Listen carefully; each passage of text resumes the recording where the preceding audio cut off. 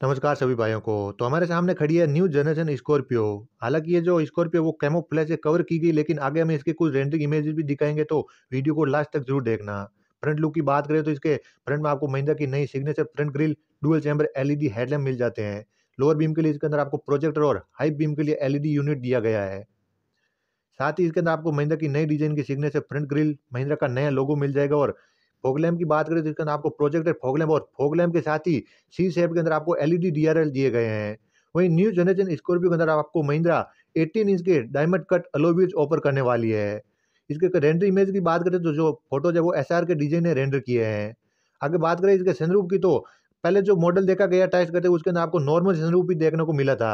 लेकिन हाल ही में जो इसका मॉडल देखा गया, जिसके अंदर आपको पेनारोमिक सनरूप भी देखा गया, यानी कि न्यू जनरेशन स्कॉर्पियो में महिंद्रा पेनारोमिक और नॉर्मल सनरूप का दोनों का ऑप्शन देने वाली है। रेंडर इमेज की बात करें तो इसका जो क्रेडिट है वो एसआर के डिज़ाइन को जाता है तो यहाँ पर आप देख सकते हैं इसका जो फ्रंट लुक वो काफ़ी हद तक इसी प्रकार का रहेगा।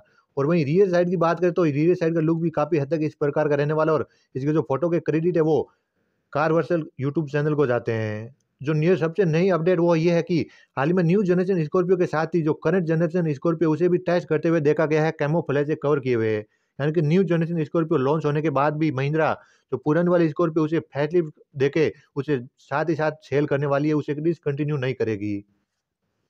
क्योंकि जो करंट स्कॉर्पियो है, उसके साथ कई लोगों के इमोशन भी जुड़े हैं और कहीं ना कहीं जो करंट जनरेशन का जो डिज़ाइन है, वो कई लोगों के अंदर फिट बैठ चुका है, यानी कि जो नई जनरेशन स्कॉर्पियो आएगी कई लोगों को पसंद शायद ना आए, लेकिन जो करंट मॉडल स्कॉर्पियो, वो कई लोगों को पसंद आ चुकी है। इसी को देखते हुए जो महिंद्रा है न्यू जनरेशन स्कॉर्पियो लॉन्च होने के बाद भी करंट स्कॉर्पियो को बंद नहीं करेगी।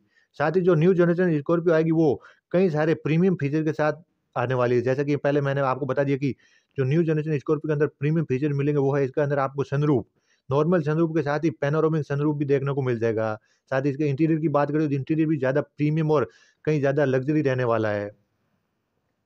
इसके अंदर आपको कई सारे प्रीमियम फीचर्स भी ऑफ़र किए जाएँगे, जैसे कि करंट जनरेशन का आपको स्कॉर्पियो के अंदर जो फीचर नहीं मिलती हैं, जो कि पुश स्टार्ट स्टॉप बटन बड़ी touch screen display flat bottom steering wheel और साथ ही इसके अंदर आपको संदरूप भी बताई दिया है और महिंद्रा की कार कनेक्टेड टेक्नोलॉजी भी न्यू जनरेशन स्कॉर्पियो के अंदर आपको ऑफ़र की जाने वाली है, जो कि इसके टॉप मॉडल के अंदर देखने को मिलेगी।